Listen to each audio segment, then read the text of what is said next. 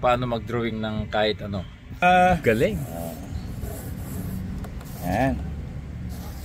Tapos, kindness matters.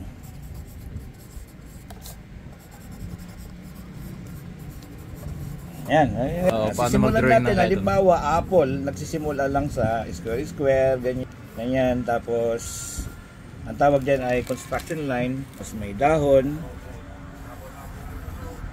Ayan yun. Tapos, ito yung tinatawag na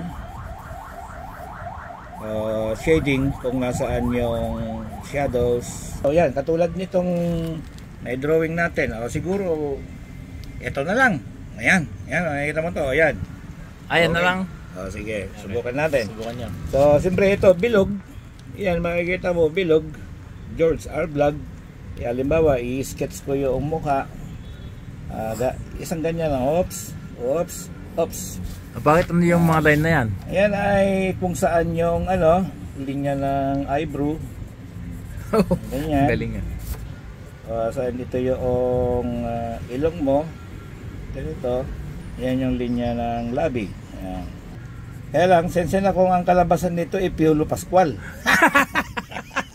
Grabe, pogi-pogi. Ayan, ayan. So, ayan, pabaliktad na lang para makita. O, ayan o, di ba? Oh, galing. Okay, so ito yung pinakamata. O, yan ko yung position. Siyempre, kukunin mo muna yung ah, yan, nagsisimula. Yan. Okay, ayan, siyempre. tingnan natin kung ah, at least eh, Kuwang-kuha na. yung mata.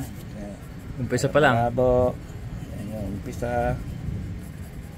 Yan lalabas yung proportion dyan. Yung kilay. Ito. Simula ang ngiti. Yan yung mga initial.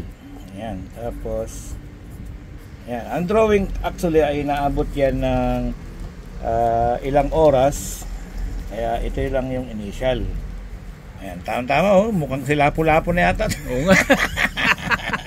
George. Vlogs na nakalagay oh. Oh, George, uh, lawal, lagay natin yung circle dyan. Uh, George L. Vlogs na nakalagay oh. oh, George, uh, lawal, lagay natin yung circle dyan. Okay? Okay na. Uh, George. G-E uh, O-R R Vlogs.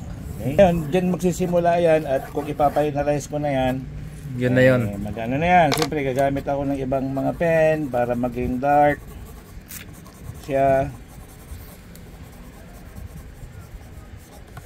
Okay.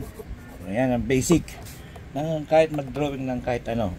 Galing Ayan, ah. Tulad yan, yung mga ibang nagawa. Siyempre, kapag ka na-finish na yan, magiging ganito.